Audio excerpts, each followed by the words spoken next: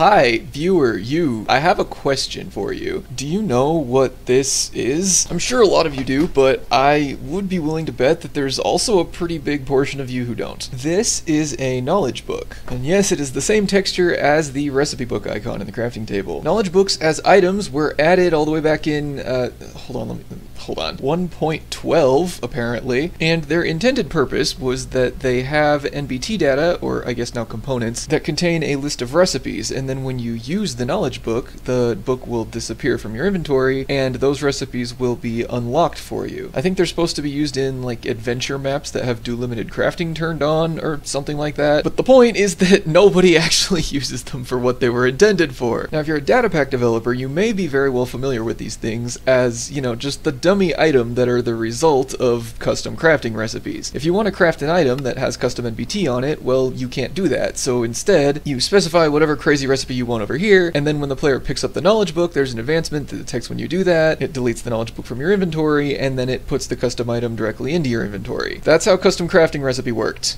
until 1.20.5. In 1.20.5, we'll be able to put custom NBT data, or components, geez, I'm gonna have to wrap my brain around that, onto the output of a custom crafting recipe. So, RIP knowledge books, I guess. My buddy DQRDC put it very eloquently on his YouTube community tab. But hold on, not so fast. I've found a way for knowledge books to still be useful. The way I see it, this addition of custom NBT crafting actually frees up knowledge books for use in other things. Now you may be asking, why couldn't we use them for these other things before? Well, let me explain. When you're using your custom crafting recipe, part of the process of that is that whenever you pick up the knowledge book, it actually clears all of the knowledge books from your inventory. Now it's supposed to only clear the one that you picked up, but if you actually had a knowledge book that you were using for something else, then it will just disappear from your inventory whenever you want to craft a custom recipe, which isn't ideal. But now that custom crafting has rendered this knowledge book method pretty much obsolete, we don't have to worry about this problem anymore. And here is where my idea comes in. Now, am I going to be using knowledge books for their actual intended purpose? No, of course not. But I am going to be using that mechanic. I have some materials in my inventory. I'm going to go into my crafting table, search for spell, and I have a couple recipes here. One is the fireball spell and one is the lightning spell. And yeah, sure, go ahead and unpack all the irony that the first thing I craft with the new mechanics is a knowledge book, but this one, as you can see, did not get deleted from my inventory when I picked it up, so I'm going to put it in my inventory. Now if I hold this book and right click, it'll summon a fireball, and then I can punch the fireball. It'll always summon it right in front of my face, and then I can just punch it away as if I'm punching a ghast fireball. I'll try the same thing with the other one. So here's the lightning spell, it takes some lightning rods. If I just pick up this spell, when I right click with it, it'll always summon a lightning bolt a few blocks in front of my face. Uh, yes, a creeper.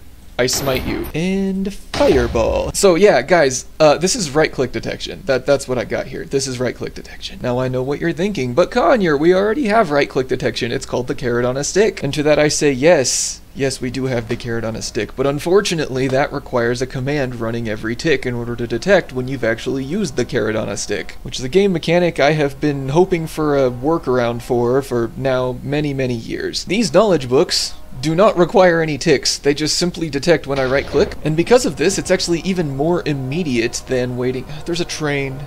Why is there a train? We're just gonna wait for it to pass.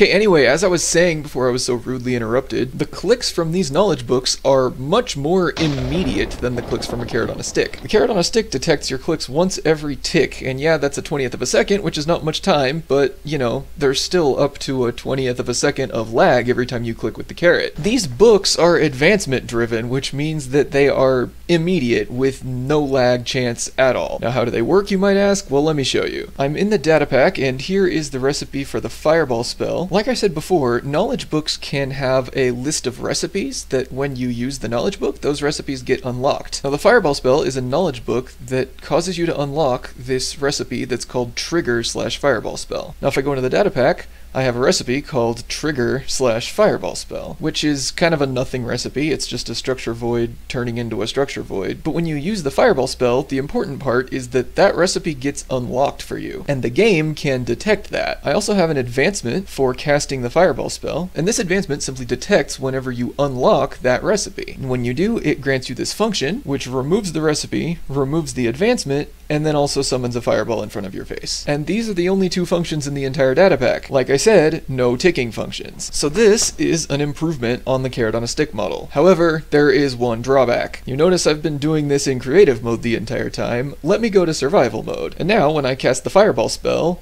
oh, I can cast the fireball spell and the book disappeared. So the best use case for these is if you want to have them be consumable. Maybe something like magic scrolls that can only be used once would be a great use case for these. And again, I'll try it with a lightning spell. I can summon the lightning bolt, but yeah, the book is no longer in my inventory. So that's really the only drawback. I think at least for the time being, if we want to have a right-click detectable item that doesn't get consumed, we are going to have to stick with carrot on a stick, which is sad, but it's what we got. But if you're after the specific use case where you click with an item and it's supposed to disappear from your inventory, then this is perfect. I've gone ahead and left this tutorial data pack down in the description below.